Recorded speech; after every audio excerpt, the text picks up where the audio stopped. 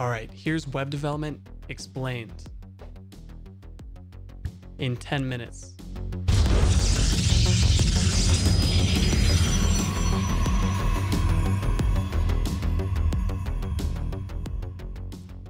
We'll cover six critical areas of web development, which together form a complete web development stack.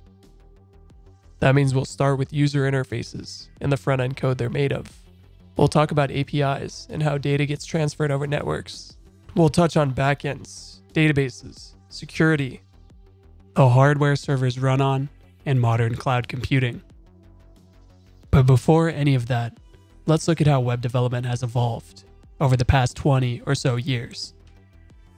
We started with Web 1.0, the era of static web pages that essentially just displayed information. We had the dot com bubble, Seinfeld, AOL, and a lot of web pages that looked like this. In other words, they were very useful. In the mid to late 2000s, Web 2.0, the era of dynamic web apps, started to emerge. While there's no agreed upon definition, web apps are usually characterized by user generated content, push notifications, and all the other things that give us anxiety. Now, many believe we're entering a new third era. Customized AI driven experiences that are different for every user. Two examples are the YouTube recommendation algorithm, as well as Amazon knowing what we want to buy more than we do.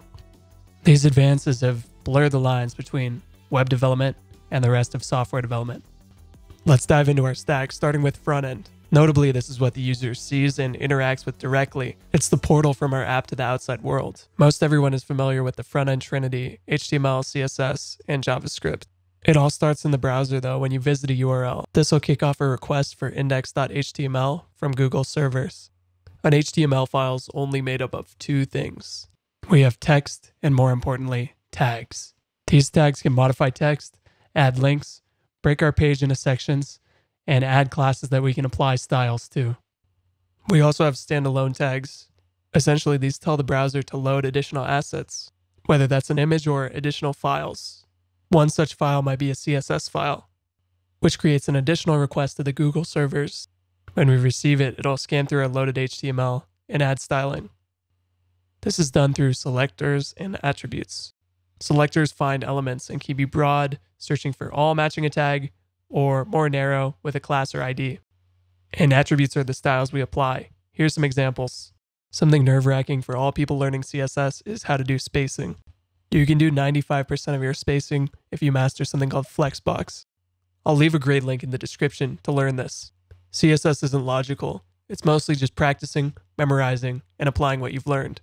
For this reason, Google's your friend. Back to our HTML file, there's one more important tag we need to talk about. It's the script tag, which allows us to load JavaScript files from our server or elsewhere on the internet. By the way, servers that send these kind of files we're talking about are generally referred to as web servers. So we see a script tag, we request our file, and it gets sent over. Let's look at some of the stuff JavaScript is responsible for with an example. Let's say we have a button that logs us in. What triggers the login is known as a user event or a click on the button. To respond to this event, we need what's known as a listener, some code that waits for the button to be clicked and responds accordingly. When the click happens, JavaScript can update our HTML to show a loader.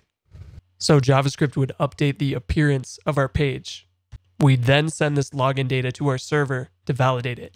JS lets us talk to our server without reloading the page. These kind of requests, whether it's to send data or request more data, are known as AJAX, asynchronous JavaScript, and XML requests. In 2020, almost all front end developers are using frameworks. Here's a few frameworks ranked from easy to hard to learn, and here's them ranked by usage. These frameworks don't do anything JavaScript can't do, but they give us a better developer experience, which, when you're making changes or fixing bugs, is pretty much everything. That being said, browsers can only run JavaScript, not framework code. So our framework code has to go through a build or bundle step, which converts it to normal JavaScript. The important part is to choose one and stick with it, although keep in mind that React and Angular have an order of magnitude more jobs than the other two. Okay, we have our front end, but how does it talk to the back end? That's the purpose of an API. Essentially, our front end and back end may or may not be in different languages. So, how do we standardize a way for these two to talk? Well, we do that with what's called an API. Most commonly, REST APIs are used, which follow the convention of combining a verb with a location. For example, we might want to get a list of accounts or add a new account. Alternatively, if we pass a parameter, we could get a specific count, modify it, or delete it. REST does give us some nice standards, but there's no guarantees. If anything changes, our front end can get messed up. So there's an alternative called RPC, which sets rules in advance with something called a schema. These make inputs and outputs explicit in advance. Now, how's data transferred? Well, that's done most commonly by sending strings back and forth through a protocol known as HTTP. Ideally, these strings can be read by any programming language.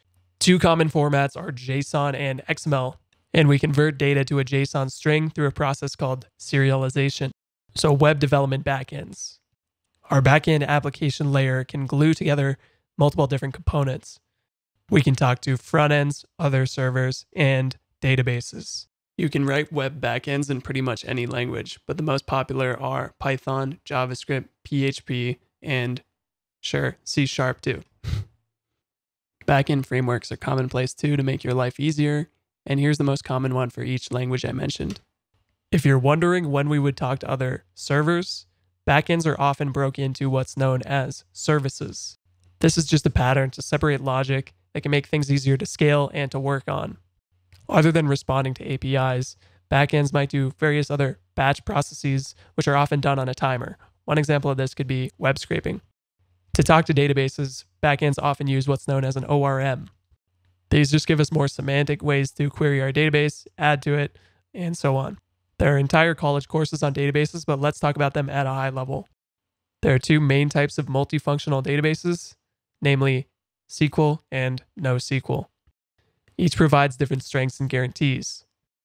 SQL databases are organized in a strict column representation format. That means to write or add to the database, you have to adhere to the set of rules or it won't work. These stricter rules allow you to do more complicated things when you're reading from your database. Alternatively, NoSQL databases don't really have rules. They just have collections which are groups of objects. So a user object might have name and email, but it's not enforced. These scale much better, but you have to be careful because there are no guarantees about the structure of your data. Again, there are many more database principles that apply, and which you use is totally circumstantial. The three most popular databases are probably MySQL, Postgres, and MongoDB. Finally, you should know that when we're trying to scale up our application, databases are usually the slowest and they're the bottleneck. And resolving these scaling issues also has entire books written about it. Let's touch on web security. Any web app with a login will need to consider authorization and authentication. The login itself provides authentication. Authentication will usually give the user a string based token that is a random sequence of characters. This is then used on the server side to validate each request. Authorization, on the other hand, defines different user roles. So if I'm an admin, I would be able to do different things than a normal user. We're almost to the end. Let's touch on infrastructure and networking. Data centers are pretty much where all servers and web servers exist, unless you have a dedicated server running at home that's always on. These servers are just computers without monitors that are constantly running. They can be controlled with SSH, a direct way to control the machine from the command line.